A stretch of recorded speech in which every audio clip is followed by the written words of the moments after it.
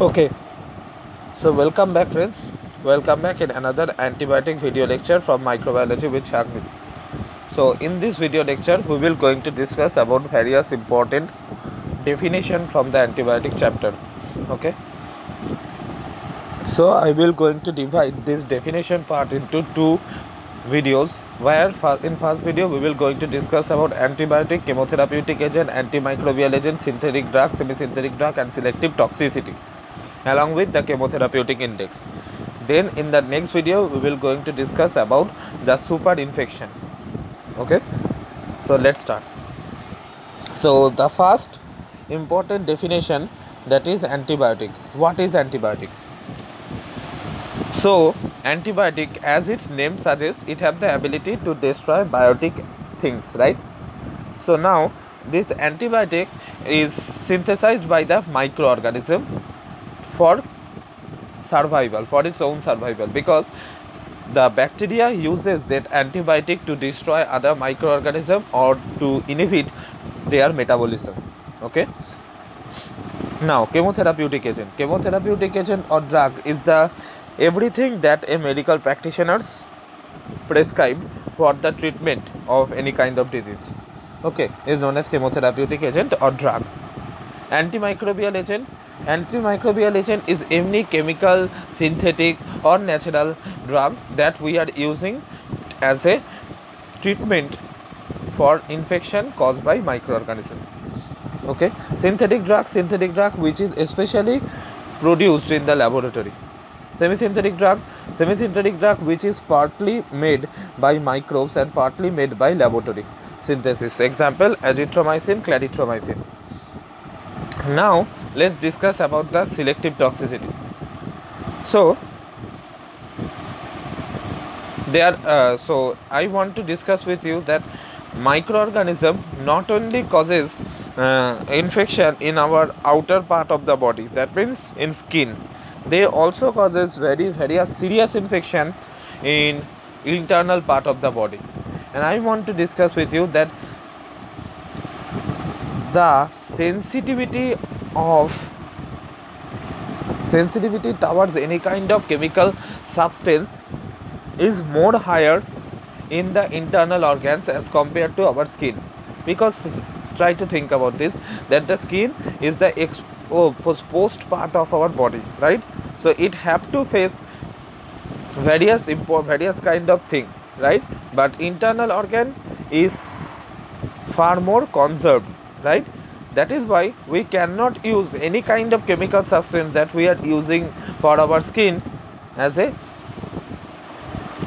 treatment for internal infection for treatment of internal infection a those kind of antimicrobial agents are chosen who have a particular property named selective toxicity. So, what is the meaning of this selective toxicity?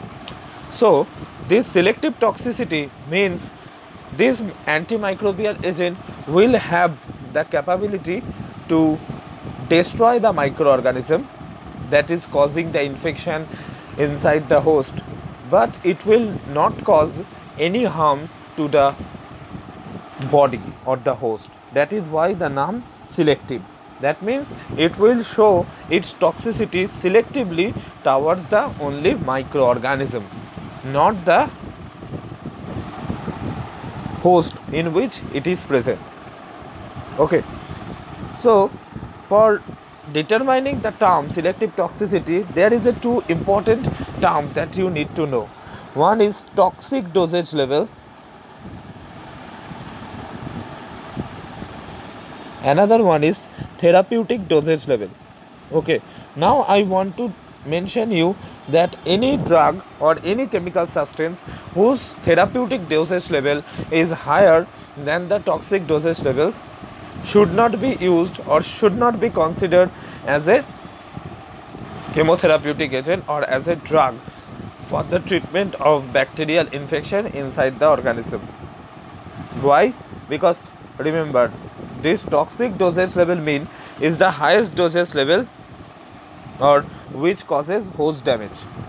Okay. On the other hand therapeutic dosage level means which successfully causes the curing of the organism from that pathogenic microorganism okay so now let's try to think about this if the toxic dosage level become lower than the therapeutic dosage level that means before curing it will also start causing various kind of infection in the body. So is it will be preferable? No. That is why only those kind of drug is preferred whose toxic dosage level that means the level at which it will cause damage to the host is much much higher than the therapeutic dosage level. It is the level where it will cure the disease.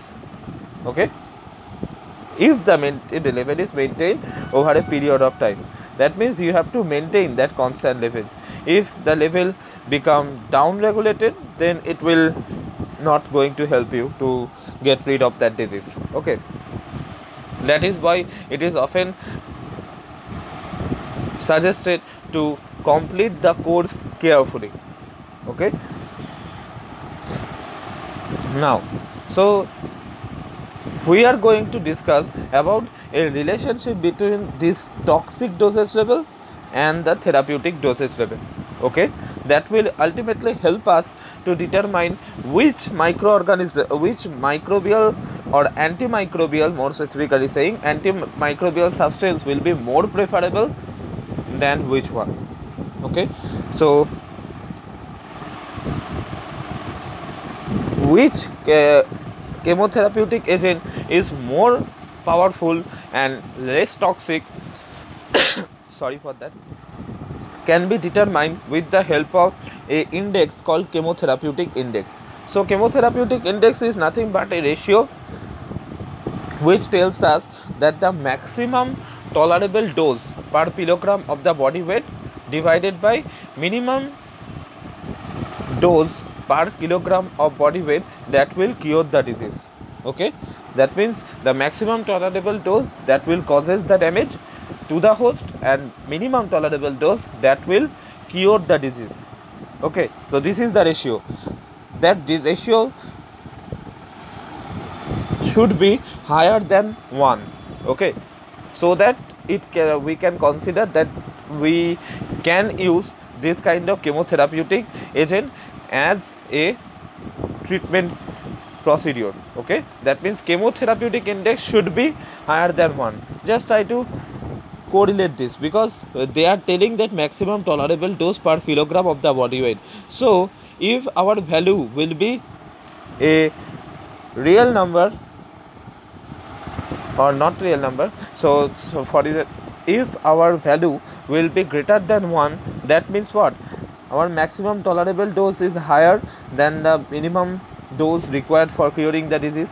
So we can consider those kind of drugs for our treatment. That means if we will inject or if we will ingest those kind of drug at a very lower level so it can cure the disease. Okay. So that means suppose let's consider two condition. One is there is a chemotherapeutic agent whose chemotherapeutic index is 8 okay? And another chemotherapeutic agent whose chemotherapeutic index is 1 so now which will be more useful? Obviously the first one because here the chemotherapeutic index is 8 that means the ratio between the maximum tolerable dose per kilogram of the body weight and the minimum dose required to cure the disease is 8 right? That means there is a wide range between the toxic dosage level and the therapeutic dosage level. So you can maintain the therapeutic dosage level for a longer period of time for curing the disease right? So here 8 chemotherapeutic index containing chemotherapeutic drug will be much more useful than the chemotherapeutic drug with chemotherapeutic index 1 okay? So now let's discuss about which for which kind of chemotherapeutic drug we have to discuss or we have to calculate the chemotherapeutic index very carefully so for those drugs who have arsenic antimony mercury as their components the dosage level should be calculated very carefully because remember those kind of arsenic antimony mercury are very toxic to human. Not only that it is very toxic to another animal host and more specifically most importantly the pathogen. Okay? Similarly treatment of worm infection treatment of fungal infection. Because here for treatment of the worm infection the damage that we are willing to cause to the parasite not only damage the parasite but also it will damage us okay? Similar case can be applicable for fungi because they are eukaryotes okay? And our human cells are also eukaryote. So if we will use suppose a dna synthesis inhibitor for fungal treatment okay? So th there is a chance that that that that this chemi chemotherapeutic agent not only target the fungal dna but it also target ours okay? So that is the problem so those kind of chemotherapeutic drug the calculation of chemotherapeutic index will be very important. But in case of bacterial pathogen where we are targeting cell wall because we all know that human cell lacks cell wall right? So in such circumstances we cannot bother about what will be the chemotherapeutic index? Because we are targeting the cell wall synthesis. Let's say for penicillin we will going to discuss about the mechanism of penicillin in a detailed video lecture. So if we use penicillin so we don't need to uh, bother about what will be the chemotherapeutic index. Because chemo our penicillin will going to target the cell wall and human cell lacks it okay? So it will only and only target the bacterial pathogen not human. But there are some individuals who have allergies to penicillin. Under such circumstances we also have to keep special attention towards those things also. Okay. So now we have learnt about the selective toxicity.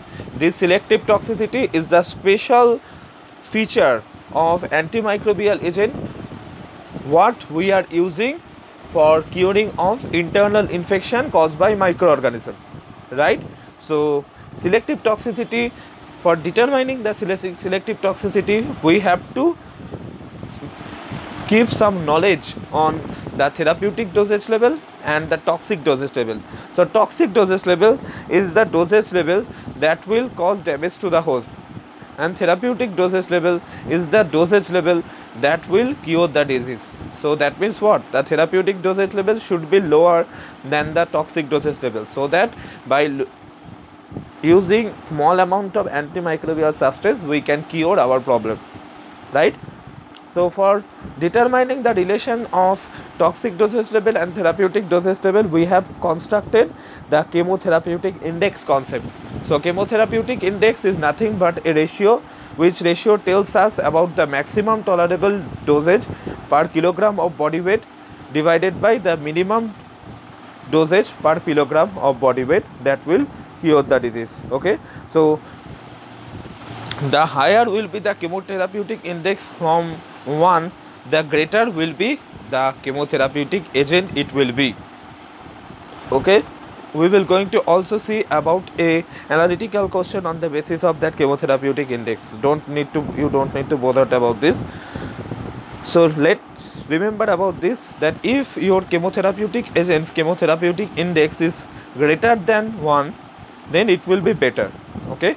And the higher it will be greater than 1 the better it will be okay? That means suppose there is a chemotherapeutic agent whose chemotherapeutic index is